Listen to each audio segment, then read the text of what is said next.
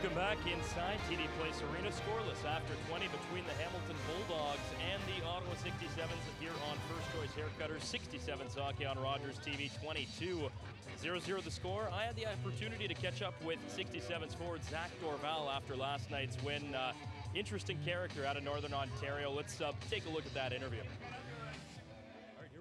Zach Dorval of the Ottawa 67s. Uh, Zach, thanks for joining us. And first off, just talk a bit about uh, how you've enjoyed your time in the Barber Poles this season as a member of the 67s.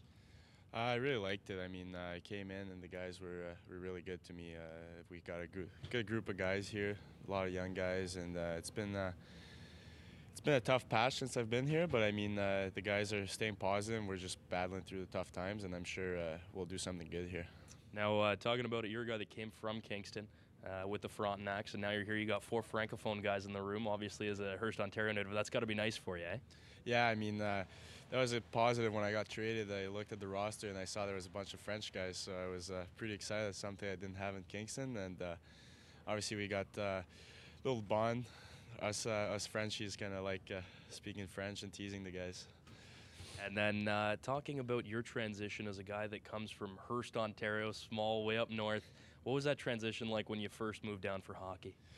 I mean, I played single A up till uh, Bantam first year, I think, though. So, uh, I mean, it was kind of tough at the start because I had to move away from home when I was 14. Uh, so I've been doing this for a while, the the moving away part. So, uh, I mean, I guess it was just a different different path than most guys that are uh, end up in the OHL, but uh, I'm fortunate to be here, and uh, I like it.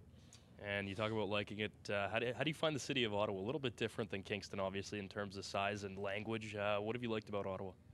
I like it a lot. I live uh, out in New Orleans, so uh, it's again I'm, I'm, French, so it's nice. Ottawa's a nice French town. Gatineau's not too far. Um, my billets have been great, and like I said, like the guys here are really good, and just a great atmosphere. So I'm really happy to be here. And then uh, talking about tonight's game, you guys just snap a seven game losing streak. How big is this for the morale in the room? What was the room like after that win? This was good. I mean, uh, I don't think it was we played our best game, but we finally got the results. I mean, we've been playing hard the last uh, last little bit here and didn't get the results, and finally uh, we managed to pull one out and get the two points. So uh, obviously the guys are really happy, but now uh, we got to refocus and get ready for the next game. And then looking at uh, your season as a whole, as a defensive forward, you don't really judge your game based on the box score, but uh, or the statistics. But how do you feel your season has gone here uh, with the 67s? I mean, uh, my season's been better. The, I think uh, coming here, they give they've given me an opportunity to do exactly what I do, which is uh, play defense and shut guys down, get under guys' skin, and they've given me the opportunity, so I've been taking it and I mean, I think I have a good relationship with the coach, so everything everything's been good. And then uh, we'll swing it now finally into some rapid fire questions, just your standard. Starting off, uh, who's your favorite musical artist? Oh, Zac Brown Band. Zac Brown Band, okay. And uh, what was the last song you listened to before tonight's game? Uh, God's Your Mama and Me, It's Florida Georgia Line. Country, country. Yeah. uh, favorite pregame meal, go to pregame meal? Uh, I'd say chicken parm. Chicken parm, pretty standard, pretty standard. Uh, favorite youth hockey memory? Winning the All Ontarios.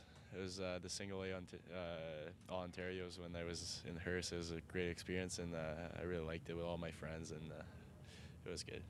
And then uh, dream dest or dream vacation destination.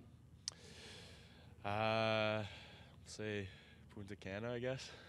original, original. Somewhere hot. there, there, you go. If we could all use it right now in mid-February. And uh, lastly, now you're in your 18 year. Where do you see your hockey career progressing from this point forward? I mean, I I don't try to think about that too much. I just go out there every game and play my heart out and play hard, and then uh, whatever opportunities come my way, I just try to kind of analyze what's uh, what's available and then make decisions from from there. But obviously, obviously I'd like to, to move on. All right, Zach Dorval forward with the Ottawa 67. Zach, uh, thanks for your time and best of luck the rest of the way. Thank you.